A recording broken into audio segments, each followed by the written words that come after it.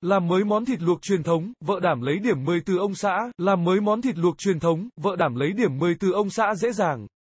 Thịt luộc vốn là món ăn quen thuộc của mỗi gia đình. Nhưng, nếu làm thịt luộc theo cách thông thường, thì không có gì mới lạ, với cách làm mới này.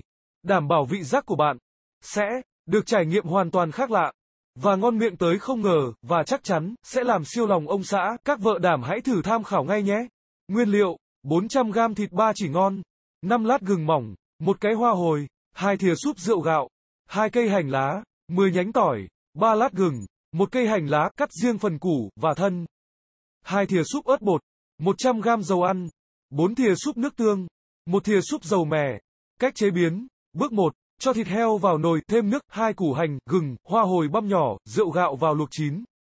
Bước 2, vớt thịt ra, để ráo trong 15 phút cho miếng thịt săn lại. Bước 3, thái thịt thật mỏng xếp vào đĩa sâu lòng.